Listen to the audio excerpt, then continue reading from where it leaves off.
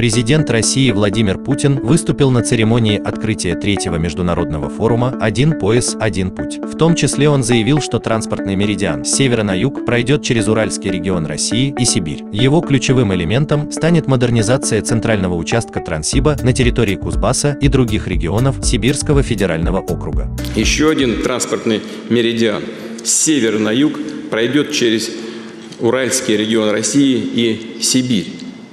Его ключевые элементы – это модернизация центрального участка Транссиба, включая западно-сибирскую железную дорогу на территории наших областей – Омской области, Новосибирской, Кемеровской, Томской области, Алтайского края. Это также строительство Северного морского хода, как мы его называем, с выходом, это еще одна железнодорожная ветка, с выходом к портам Северного Ледовитого океана и полуострова Ямал на севере российского Красноярского края и новой северо-сибирской железнодорожной магистрали от Ханты-Мансийского автономного округа России до ее стыковки с нашей крупнейшей железнодорожной сетью, с Транссибом и Байкало-Амурской магистралью. Поручение, которое дал президент, разработка новых выходов, чтобы от нас не только мы могли ехать на восток и на запад, выход на северный морской путь, еще один выход на Китай и возможности такие, создания таких новых транспортных коридоров